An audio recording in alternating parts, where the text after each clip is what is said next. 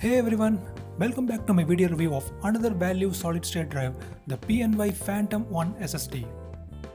I have always had a great respect for PNY brand for their consistent quality and performance in their entire range of products. The low-cost CS1311 SSD, which I had tested earlier, surprised me with its consistent performance and gave a tough fight to other brand models that are priced above this model. This Phantom 1 SSD is priced even lower than the CS1311. You can also check out my other SSD video reviews by hitting my channel name, that is VM Reviews. Inside the package, along with the drive, you get a 2.5mm spacer for increasing the thickness of the disk to fit in some laptops that originally came with 9.5mm thickness or drive. The manufacturer does not provide any accessories or migration software with the drive. Anyway, I will not complain for that considering the cheap price of this model. The Phantom 1 SSD is enclosed in a sturdy metallic case with matte finish and the body is firmly integrated with no signs of creak or cost cutting anywhere in the body and it feels quite solid while holding in hand. It's available in 4 capacities and you can select any one of the capacity right from 120 to 960 GB based on your budget.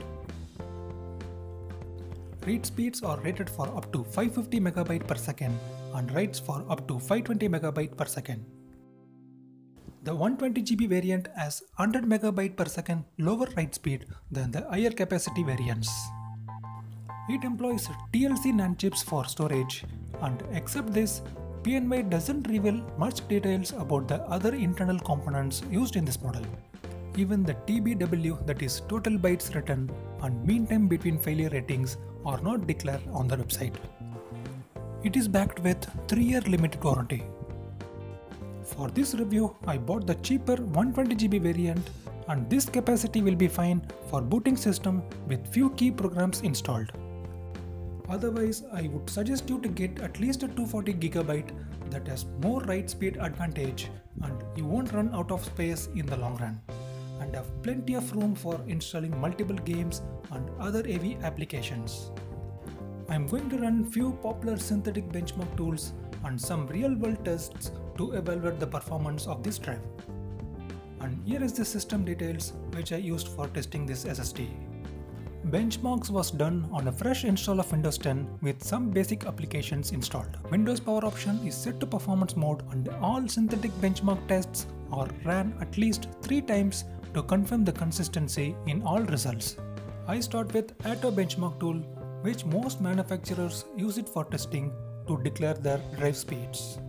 It uses compressible data for testing and this method provides higher performance numbers which manufacturers make use of it to advertise their models. Well, the Phantom SSD maxed out at 541 MB per second read and 380 MB per second write speed, almost matching the advertised rating for the 120GB variant. Next, Crystal Disk benchmark with 1GB data size and test count set to 5. This tool measures random and sequential read rate performance using incompressible data.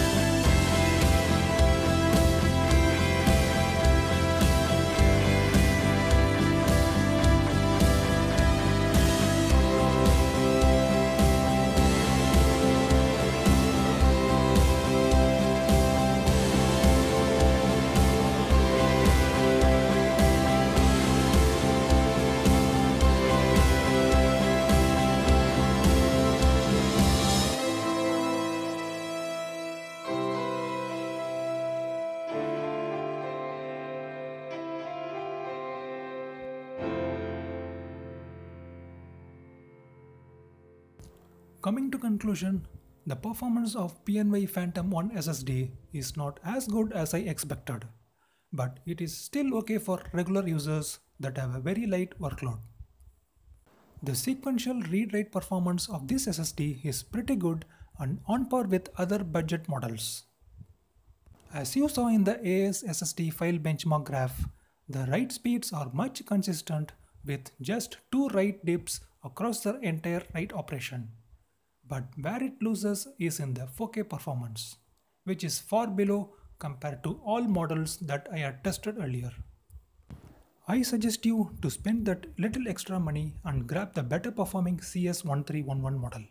Still, the Phantom 1 series will be a good choice for first time SSD buyers and also to those who are upgrading from their rotational hard drives will obviously experience tremendous difference in the overall system performance. Thanks for watching this video and hit the thumbs up button below if you like this video. And don't forget to subscribe which is going to energize me to create more videos.